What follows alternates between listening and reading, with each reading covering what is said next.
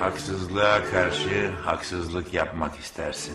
Ama bazen haksızlık yaptı diye vazgeçemezsin sevmekten. Senin canını yakanın canını yakmak istersin.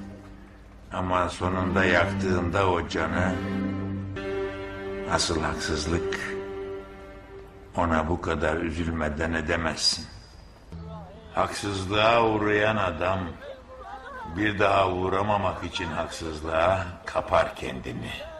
Ta ki bir daha istese de bir şey hissedemeyene dek. Haksızlığa uğrayınca bir kere en zoru inanmaktır yine kendine. Hakkı yenen adam öfkeli değildir sırf. Utanır, utanır bütün bunlara izin verdiğine.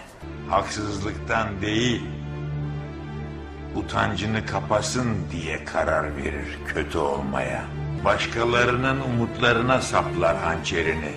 Çünkü korkar kendi umutlanmaya. Asıl haksızlık ihanet değildir. İhanetle aydınlığı kapamaktır. Umutları öldürmektir. Ta ki hayat kendi nefesini sana ödünç verene dek. Ta ki bir daha aynaya bakmaya cesaret edene dek. Şimdi herkes sevdiğinin ona gelmesini bekliyor.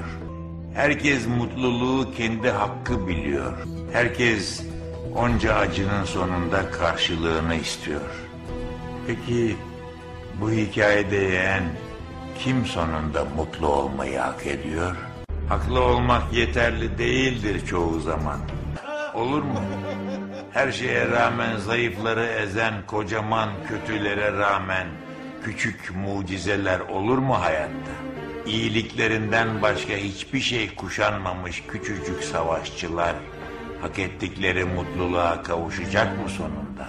Bu sefer herkes hak ettiğini bulsun istiyorsun. Bu sefer içlerinden biri ölsün. Biri kurtulsun istiyorsun.